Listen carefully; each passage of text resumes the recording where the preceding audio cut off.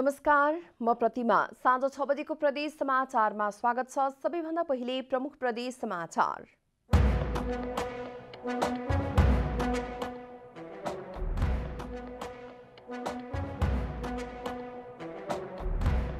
मनाङको नासोङ गाउँपालिका अन्तर्गत पर्ने जंगलमा लागेको डढेलो अझै नियन्त्रण बाहिर त्रासमा स्थानीय बासी बागमती प्रदेशको प्रदेशसभा स्थगित भएको प्रति नेपाल दाहाल पक्षका सांसदहरूद्वारा विरोध बैठक सञ्चालन गर्न माग। र रामेछाप नगरपालिका सात सुका जोरमा सुविधा सम्पन्न कवर्ड हल बन्ने निर्माणका लागि चार करोड पचास लाख रकम विनियोजित। अब पुरा समाचार। मनाङको नासोङ गाउँपालिका अन्तर्गत जंगलमा लागेको डढेलो अझै नियन्त्रणमा आउन नसकेको मनाङ प्रशासनले जनाएको छ।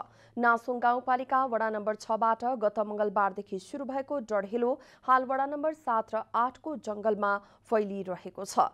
जंगलमा लागेको डढेलो निभाउने टोली प्रभावित क्षेत्रमा पुगेको भए पनि ठूल्ठूला भीड़ भएकाले निभाउन समस्या भएको मनाङ प्रशासनले जनाएको छ। डढेलो प्रभावित क्षेत्रका मुख्य बस्तीको जोखिम कम गरिए पनि जंगलको डढेलो नियन्त्रण बाहिर छ। यद्यपि अहिले जंगलमा बलिरहेको आगो नदेखिए पनि ठूला पहराहरूमा धुवाँ देखिएको र ठूलो हावामा डढेलो फैलन सक्ने सम्भावना छ। डढेलो नियन्त्रणको प्रयास जारी रहेको र आगो लगाउने व्यक्तिको पनि खोजी कार्य भइरहेको मनाङ प्रशासनले जनाएको छ।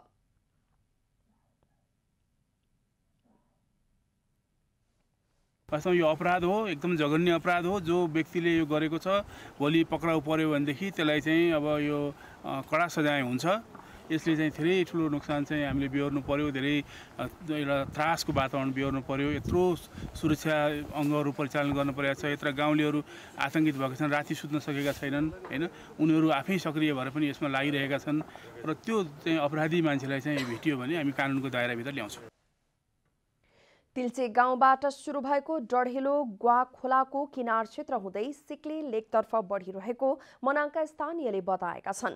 नासोङको ताचै तिल्चे र थोचे क्षेत्रमा डढेलोको उच्च प्रभाव परेको हो। माघ तेह्र गतेबाट तिल्चे र थोचेको बीच दुध खोलाको सीमा क्षेत्रबाट डढेलो फैलिएको हो। पातलो बस्ती र सल्लाहको वन निगालो घारी रहेको नासोङ गाउँपालिकाको जंगलमा आगो लागेसँगै आकाश धुवाँले ढाकिएको छ। डढेलोले स्थानीय वस्तुभावका लागि चरण क्षेत्र मात्र नभई घाँस दाउरा र जडीबुटी संकलन क्षेत्रमा समेत क्षति पुगेको छ। झापाको कचन कमल गाउँपालिका वडा नम्बर एक घेराबारी स्थित एक घरमा आगलागी हुँदा एकजनाको मृत्यु भएको छ। गए राति पौने एक बजे भएको आगलागीमा परि अन्दाजी साठी वर्षीय गोवर्धन राजवंशीको मृत्यु भएको इलाका प्रहरी कार्यालय घेराबारीले जनाएको छ। घरका अन्य सदस्य पनि भागेर बाँच्न सफल भएका छन्। भद्रपुर र बिर्तामोड नगरपालिकाको दमकल स्थानीय बासी र गेराबारी प्रहरी टोलीको सहयोगमा सोमबार बिहान करिब दुई बजेतिर आगो नियन्त्रणमा लिइएको थियो।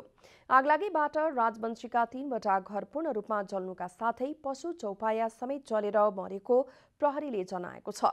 आगलागीबाट भएको क्षतिको यकिन विवरण र आगलागीको कारण नखुलेको जिल्ला प्रहरी कार्यालय झापाका प्रहरी नायब उपरीक्षक राकेश थापाले जानकारी दिनुभयो। प्रदेश समाचारमा अब छोटो विश्राम।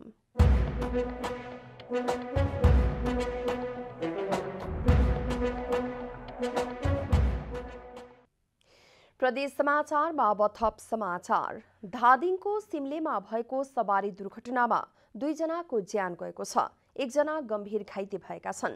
सोमबार बिहान चितवनबाट काठमाडौँतर्फ आइरहेको लु दुई ख दुई सय सत्तरी नम्बरको ट्रकले ना छ ख चौसठी पैँसठी नम्बरको ट्रकलाई ठक्कर दिएको थियो।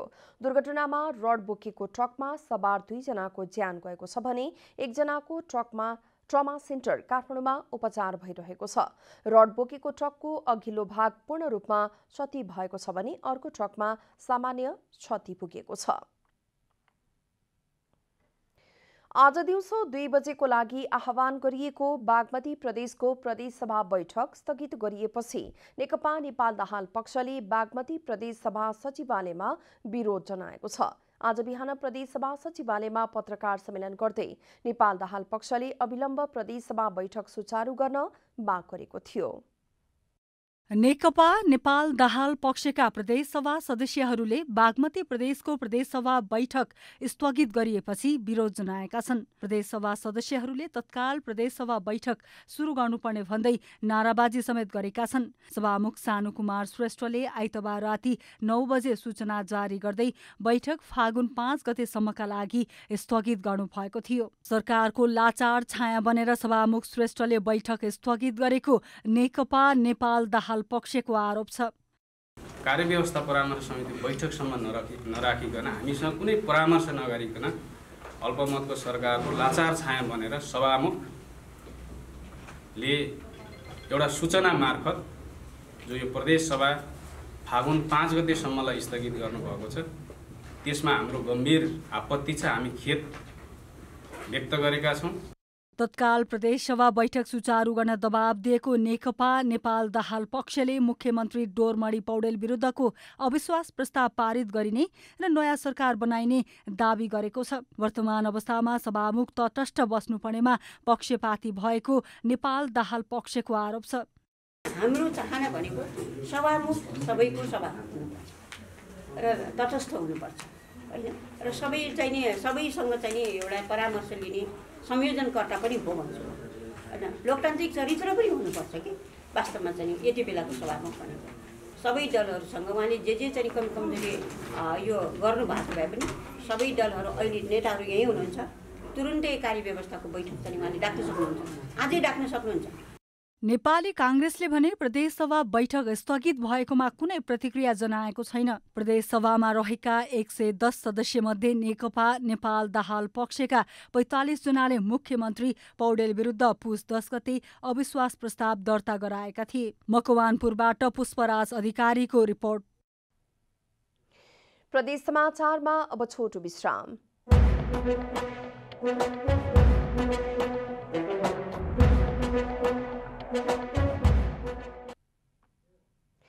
प्रदेश समाचारमा अब थप समाचार। नेकपा ओली पक्षका नेता लीलानाथ श्रेष्ठले सरकारलाई घेराबन्दीमा पारेपछि प्रधानमन्त्री केपी शर्मा ओलीले बाध्यात्मक अवस्थामा संसद विघटन गर्नु परेको बताउनु भएको छ। हेमनारायण यादवको सत्रौं स्मृति सभामा बोल्दै मन्त्री श्रेष्ठले सरकार गठनसँगै आफ्नै पार्टीले घेराबन्दीमा पारेपछि संकटको स्थिति आएको दावी गर्नुभयो। अब कसैको बहकाउमा नलागी निर्वाचनको तयारीमा जुट्न श्रेष्ठको आग्रह छ।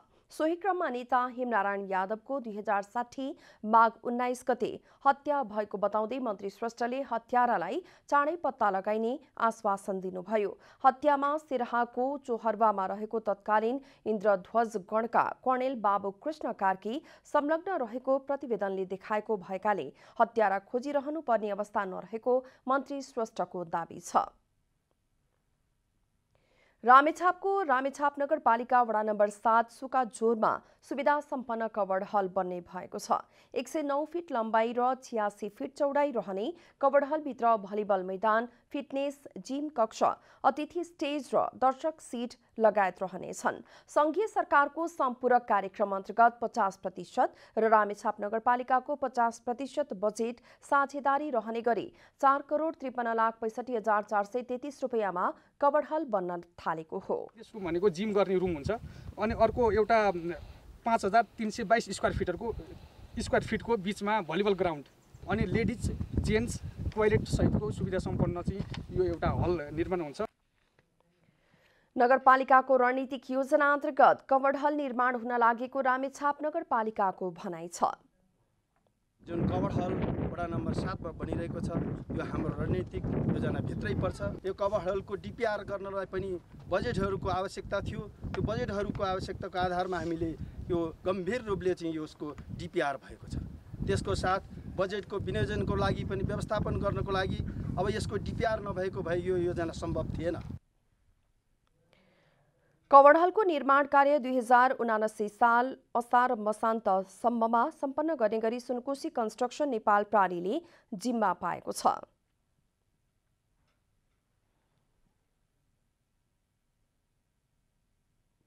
अन्त्यमा प्रमुख प्रदेश समाचार।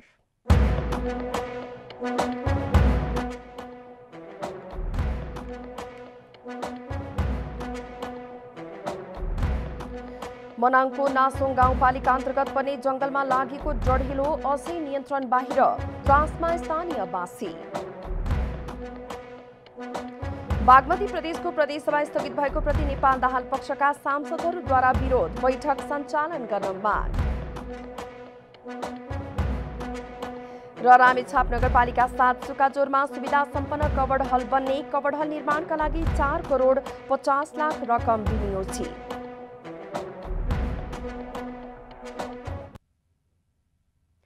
प्रदेश समाचार अहिलेलाई यति नै। जनताद्वारा जनताका लागि प्रसारित जनता टेलिभिजनका कार्यक्रमहरू युट्युब ट्विटर फेसबुक र हाम्रो वेबसाइट जनता समाचार डट कममा पनि पढ्न र हेर्न सक्नुहुनेछ।